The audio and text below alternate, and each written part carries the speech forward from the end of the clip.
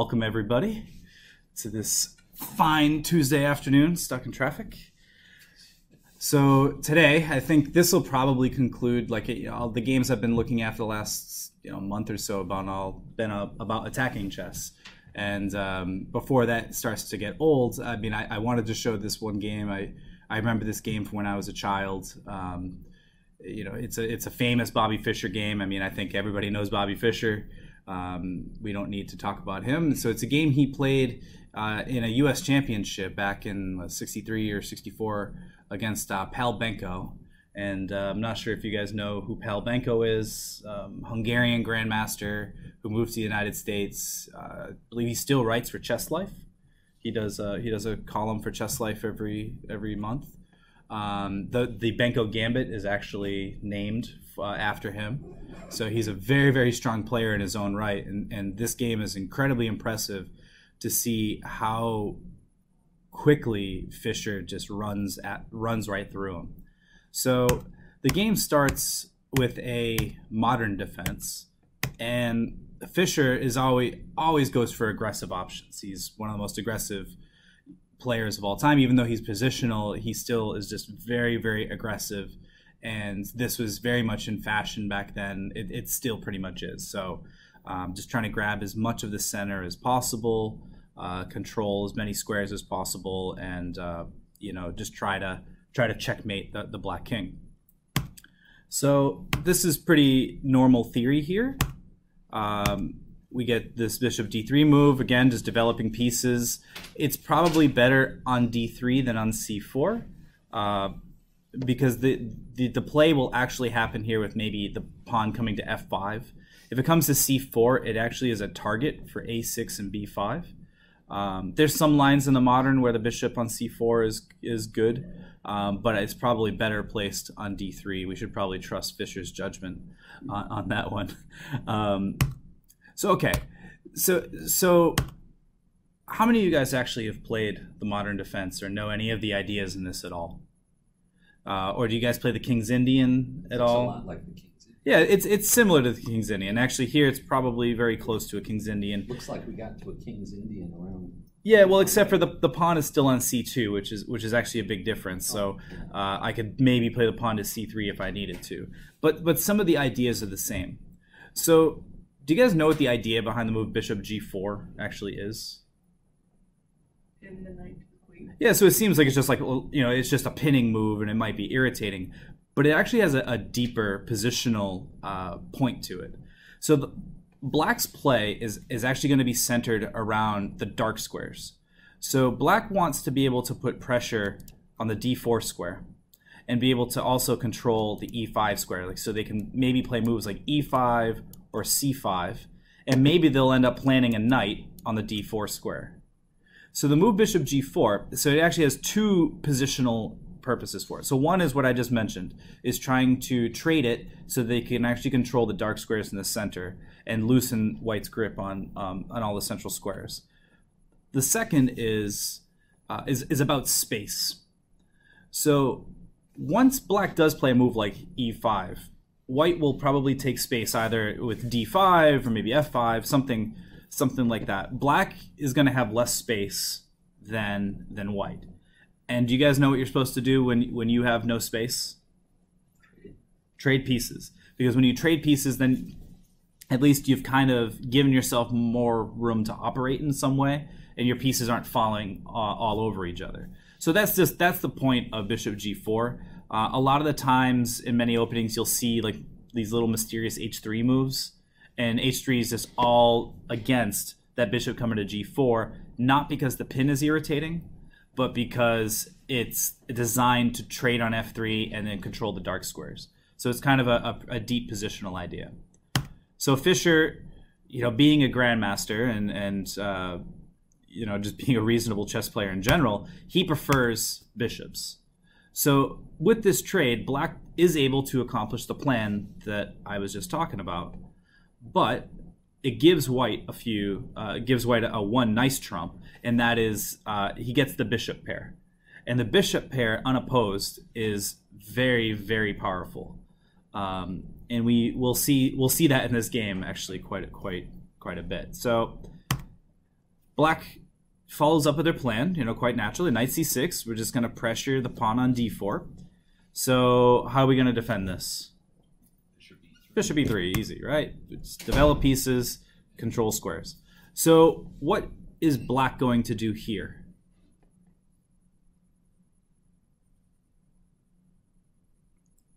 So based on the plans that I just told you and what black's trying to do, what do you think they're going to follow up with? Five. E5 and it looks a little this is this is one of those moves that's kind of weird for um, you know class players to make. You know just like i'm going to throw a pawn out into you know being attacked by by two pawns. It's kind of an awkward looking move because you have to calculate what happens if white takes twice and releases the tension and all that kind of stuff. But it, here it's it's by far the best move and it, it's consistent with the strategy that we were just talking about so the question is here, and one of the reasons I really liked this game was um, I, I thought about this position a bit, and I started to think like, how would I play this position? And Fischer played it differently than than than I I thought I would, and and I learned quite a bit actually just by thinking about this one position um, for a little while. So if you guys had the choice, what what is your move for white here? Like, how do you respond to this move E e5?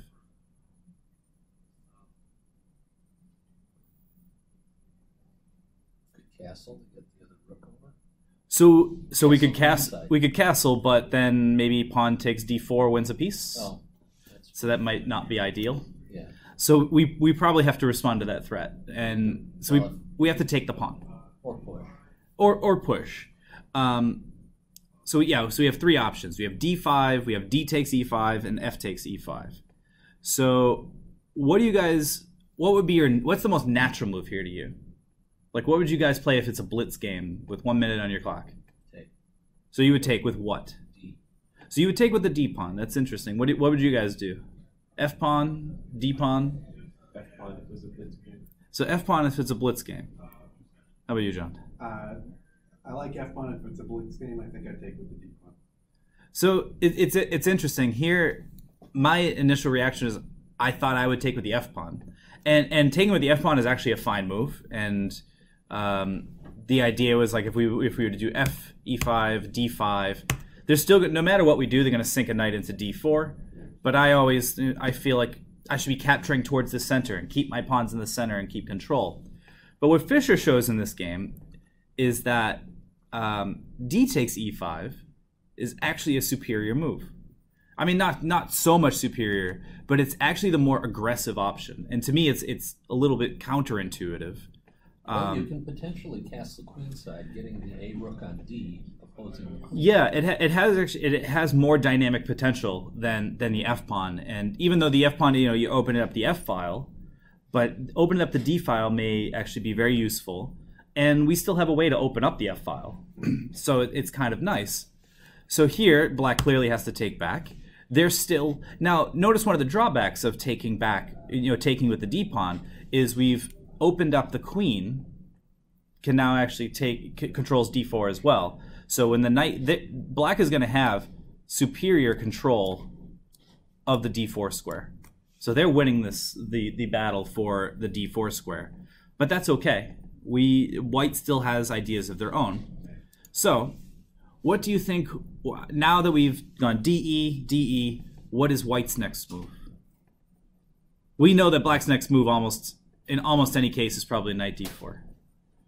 But should that worry us? What what should be our plan here? You talked about being able to open up with F, playing F5. Yeah, f5 Is it too early for that? Well, so that that's a that's a really good question, right? Um, and it's actually yes. so so white. This is the the point in, in white's play. They're they're going to play f5. They're going to threaten to maybe take on g6 someday, um, but maybe not right away.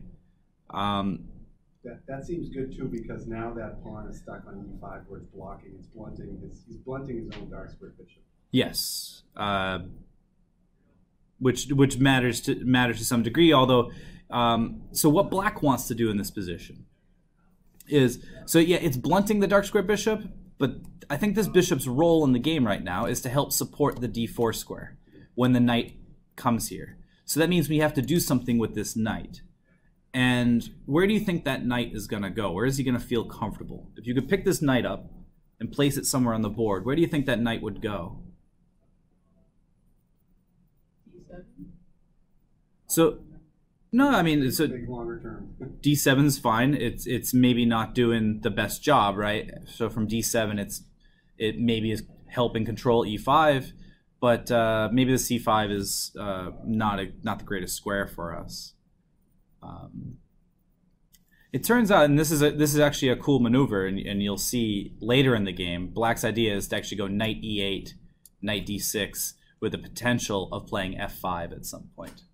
It's a it's a cool little cool little thing. So so you want to be able to keep these plans in mind as we go through the rest of the game. Uh, it's not what happens immediately, but um, but it's important just to see what it is that that white uh, that black is planning to do as well. So in this position, Benko plays G takes F5, which is kind of an odd odd move to me, um, and it's definitely not the best move. The, best move in this position was to actually just follow up with the plans we were just talking about. Knight D4. So if black did play this way, what would you do as white? So that's a really menacing looking knight, right? We don't really want to tolerate it. So the question is, should we take it? So, so this is actually a good, this is a very common theme in chess. Like you'll see these types of positions where a knight comes in, you're able to chop it off, and white and black gets this pawn um, in the center. But what else would that do for black's pieces? If we were to decide to just do bishop takes d4 here, and e d4, so we'll have like a move like knight e2. But notice what this did to all of white's dark squares. So now we have this nice e5 square where our knight can now, now going to d7 is actually a really good idea because I have both of these squares as an option. My bishop all of a sudden has a little bit more scope. The pawn's not on e5 anymore. And I can start pushing pawns. And, and black's position is actually much, much better. And uh, sometimes this is, this is hard to calculate um, you just have to have a feel for why you absolutely should not make uh, a move like that. Bishop takes d4, um, you- or at least I wouldn't say absolutely, but it's something that you now that you see kind of what the consequences are, you should be thinking about this in your own games about like, should I really take that? Is that as good as it looks? Because that knight looks really strong, but that's okay. We can actually we could tolerate it, but first what Benko wanted to do, I think he was maybe a little uncomfortable with the with the tension uh, on here, not knowing when White might actually crack this open. They might play Bishop G5 at some day, or maybe G4 is the next move that he's afraid of, right? Because White also has on tap here ideas of G4, G5, and then maybe F6, and the whole position's in a bind. So before that happened, I think Benko wanted to make sure that that wouldn't happen, and he took on f5. So how would you take back? With the pawn or the queen?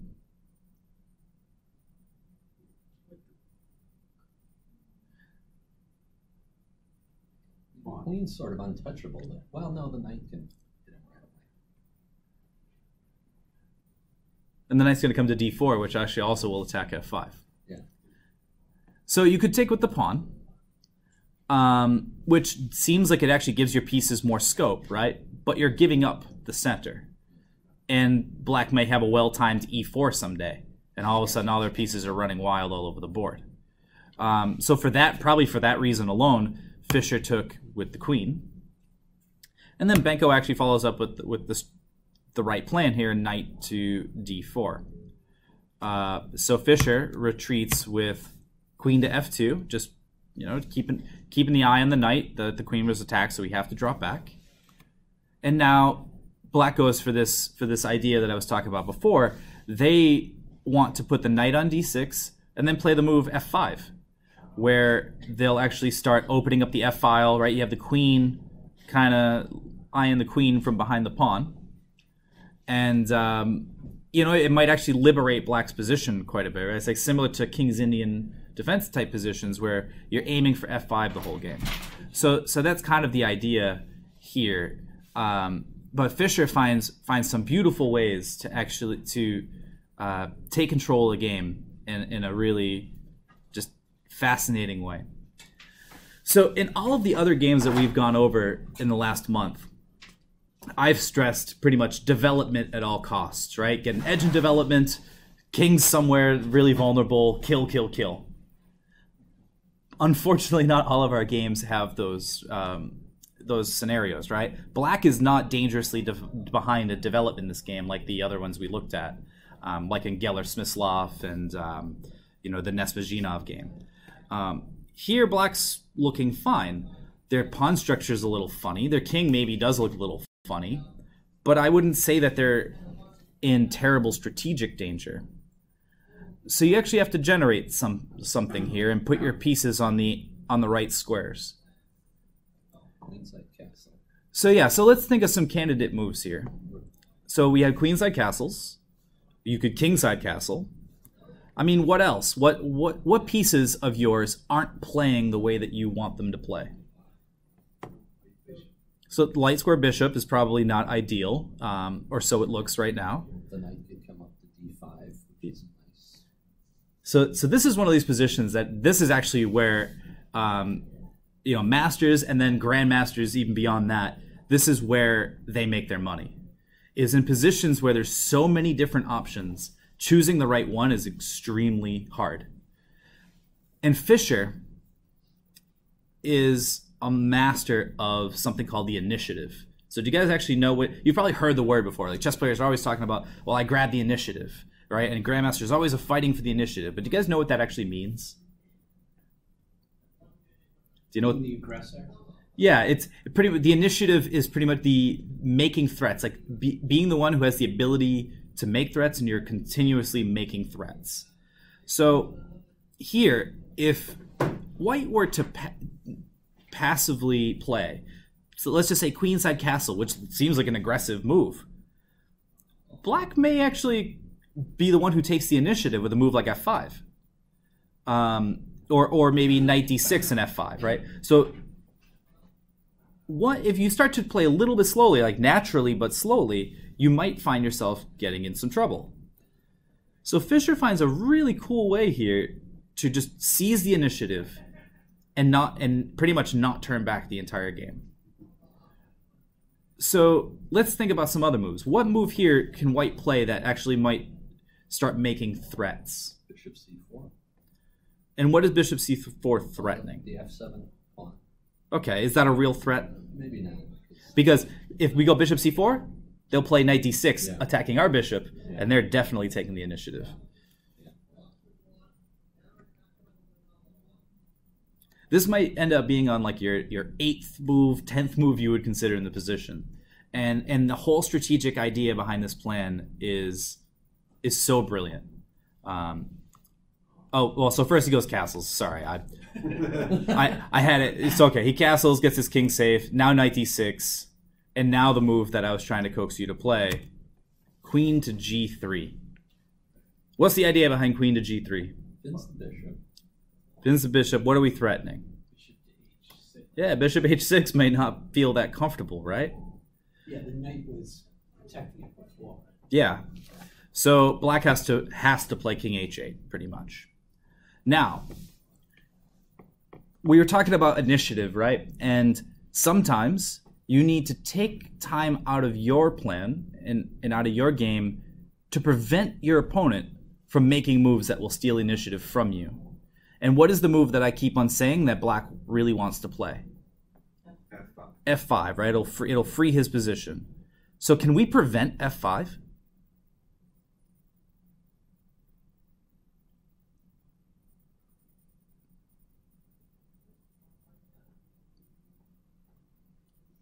Or even discourage it?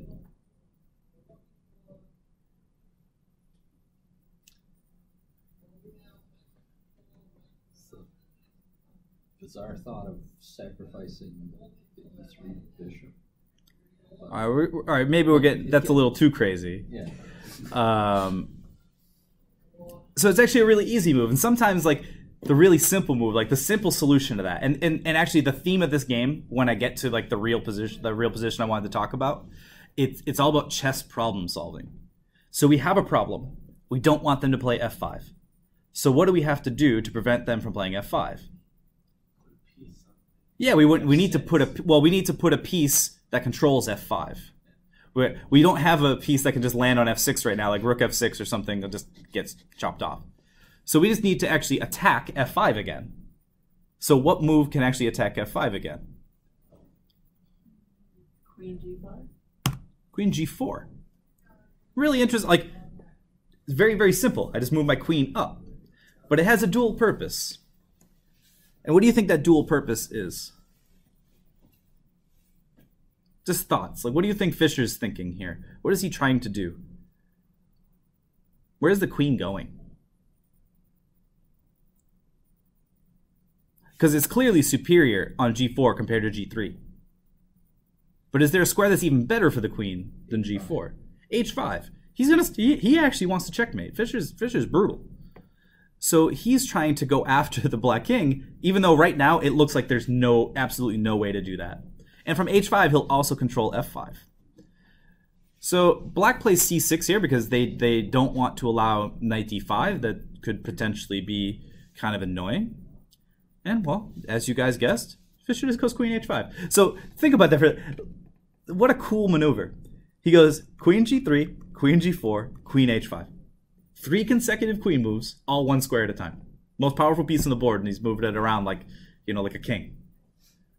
But if you compare this position to the one here, where neither side has really made a lot of progress, the queen is much better placed on H5 than it was on F2. Yeah, you could get rid of the E4 pawn. Yeah, right. So now we're thinking about right, now you're thinking the way that Fischer is thinking, the way the way that I, I want you to think in this position. It's about chess problem solving. We want to be able to get rid of the e4 pawn somehow, and so that we can you know pull, get rid of it and checkmate on h7. So we need to just start thinking about ways to do that. Here, the knight sack on, on D5. Um, okay, knight knight d5 is maybe an option. They, they can they can straight up ignore take- He doesn't have to take. Taking the knight on d4 doesn't Okay. look as bad anymore. So yeah, so now taking the knight on d4 doesn't look so bad. Oh, Okay, no. so let, let's try and calculate that a bit in our heads first. So if we go bishop d4, e d4, what is your follow-up? Knight e2. So you're just going to go knight e2, and then maybe he gets a chance. E5. Pawn up to E5. Yeah, so we might want to consider e5, right? Yeah. But e5, how do you respond to the move f5? So if we go bishop d4, whoop, sorry, uh, it's black to move here. Sorry here, Yeah.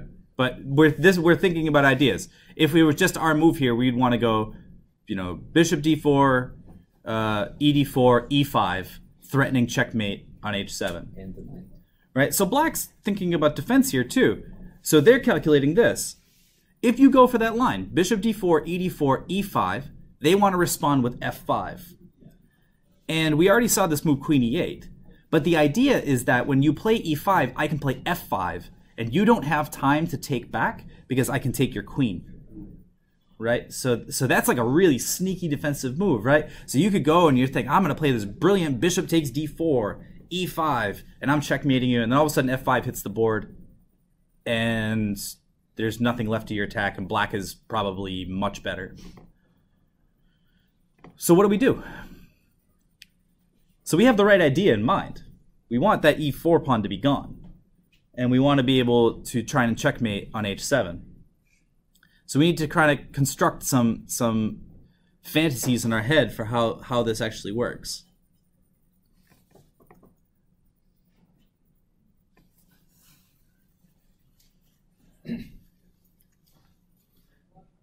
So what what makes black's defense possible here?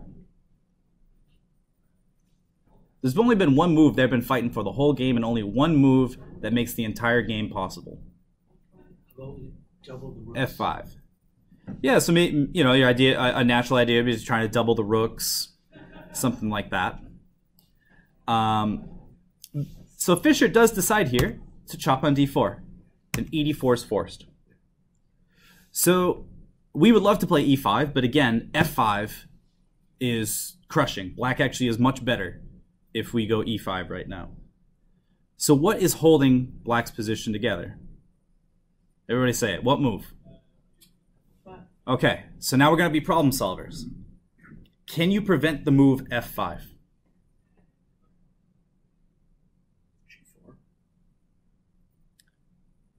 So g4, you still it, it makes you naked. It, it does, and you're still when if black ever plays f5, um, the queen is going to be attacking your queen, so they they're pretty much going to force the trade of queens there.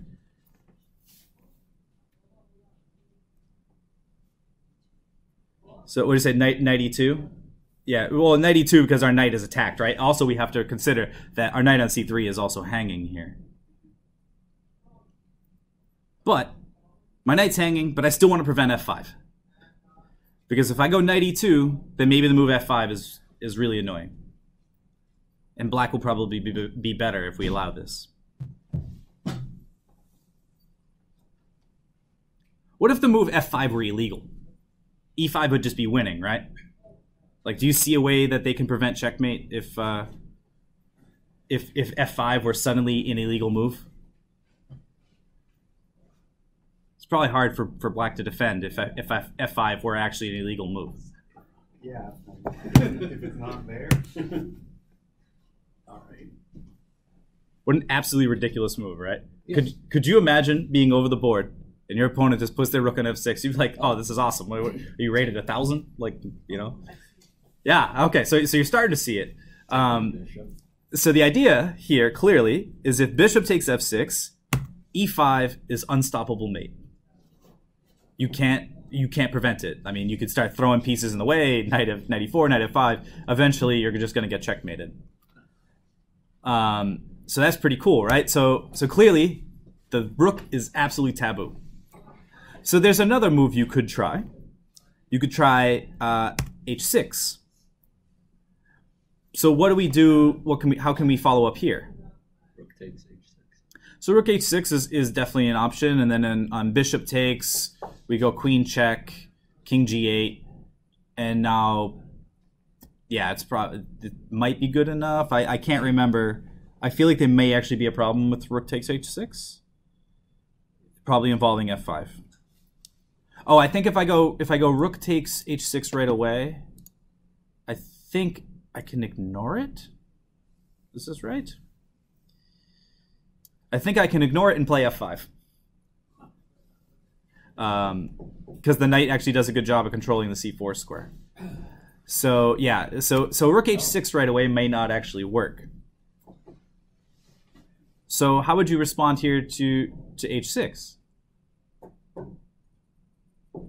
So can black take the rook still?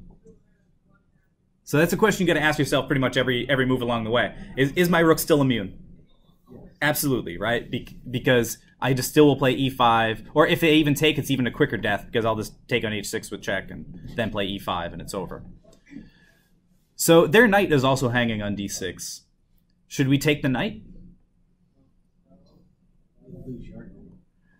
I might lose my knight, and they all and they may also end up getting f5, right? Because I've moved my rook away from its awesome square. So I don't want to do rook takes d6. Let's play, yeah, let's play e5. And what am I threatening now? Well, so now, yeah, I, I am threatening the knight, but now I'm actually threatening rook takes h6. Because then it'll be a, a very swift checkmate. So, like, let's say they punt. Let's say, oh my god, my, my knight is under attack. Let's move it to c8 or something. Then this. So you, you'd, well, actually, there's even better here. You can just go queen f5 unstoppable mate on h7. So actually, once you even see this, the knight on d6 can't move either. Because if the knight on d6 moves, I have queen f5, unstoppable mate. And so that means you can't take uh, you can't take on c3 because if they take on c3, then I just go rook h6, and clearly bishop takes, queen takes is mate. If they go queen g8, then I can just simply go rook h8. And after this, that's mate as well. So, okay. So lots of moves that we can't play for black. Uh, so let's find one. The one that Benko chose was king to g8 because it at least avoids rook h6 check. Um, so now, how does white force the end of the game here?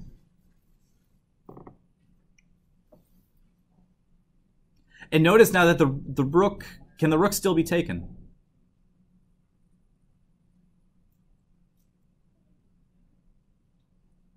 Probably not, right? Let's take, take the knight. That frees up f5. Yeah, let's see. So if we if we just eh, I'm sure taking the knight is probably fine. Do I have a response to that to ed6? The the move Fischer played was actually really funny. Uh, I thought it was a really cute finish to the game. Um, but ed6 may work, and I'm sure once I go and look at this after the fact, I'll have to annotate the YouTube video again to say like, ah, well, Rob just doesn't know how to calculate in person, so it you know it's a horrible move. Um, uh, it shouldn't actually. Yeah, ed6 we have queen e3 and then queen g5. Right. So do you see that? So if I come here, then I have queen e3 check. Um, so that could that could be problems. So, um, so yeah. So here, the move that Fischer plays is a simple knight e2, and Benko has to resign. He actually can't move any of his pieces. right? You can't move the knight on d6, so it's lost. Right? Because if it if, if if it moves, I just go queen f5. If you take the rook, then I mean I just win in a thousand different ways. Um, but one of them is just queen takes h6 with unstoppable mate on h7. Uh, if you know if the queen moves, then so what? Um, I simply just I can just take the knight now, and I'm just up a bunch of material. So, I mean, it's a nice short and sweet game, and, luckily it was a short one, uh, given that everybody showed up really late today. Uh, but you know, let's let's look at this game again really quick because I I just thought there was a couple really instructive moments um, that Fischer just it just looked easy, right? Pal Benko is is an extremely strong grandmaster, and and Fischer just walked right through him in 21 moves like it was nothing by playing moves that just seemed effortless, and then finding some ridiculous rook sacrifice on f6. Like if only our games were that easy, you know. Um, probably happens when you're the, best player, one of the best players of all time. Uh, so yeah, so we get this modern defense again. The Austrian attack. White's trying to play for control of the entire center. Black is fighting against them this way. One to gain space by trading on f3, but also fighting for these dark squares on on d4, e5, c5. But White appreciates this position because they like the pair of bishops, uh, and so it, it's a strategic tr- struggle there. So black goes about their business, just trying to attack our dark squares, and white play, white plays a really interesting way. This seems counterintuitive uh, by capturing away from the, the center, the way that's maybe more natural. Uh, but he does this so he can get this this f5 lunge. Um, we get into this knight d4, queen f2, knight e8. So we were talking about the idea was to put the knight on d6 so they could push f5. So the entire game is about this struggle about can black get away with f5 and can we ever stop it? And Fischer showed that he could stop it um, and, and won a really nice game. So castles instead of queen g3 right away. Uh, but now knight d6. Now we go about this little maneuver of taking the initiative, right? Always look for moves in which you can be the one creating threats. So white just makes a threat, a bishop h6. Black has to respond to it. Now we actually take away their ability to play f5. And we're going to put our queen on a better square. Right, c6 to try and limit our pieces. Queen h5 puts us on a better square and sets up this tactical shot that I'm sure Fischer saw coming from a mile away. And now after this move, it's just chess problem solving. I want to be able to play e5 and checkmate you, but you have the move f5. How do I stop you from playing the move f5? I'll give you a rook to stop you from playing the move f5 right? It, it, sounds really easy when you you know when, you see it now and we, we talk about it, but um, I'm sure if I would have you know had if I was playing this game and I looked at my heart rate, it would be something like 175. Right? it's like, well, all right, let's see if this works. Hopefully it does. Um, and now it's just really cool calculation and. Black is in Zugzwang pretty much on move 21 uh, on an open board and he's getting checkmated or losing a, a boatload of material. So I thought that was a really a fun one. This will probably be the the last of this uh, attacking game series that that we'll do. I'll probably switch uh, and do some lectures on positional chess, like when to trade pieces and and other cool strategic positional play. But uh, I, I, would be um, upset if I didn't at least show one Bobby Fischer game in you know in, in the last month. So hopefully you guys like this one this.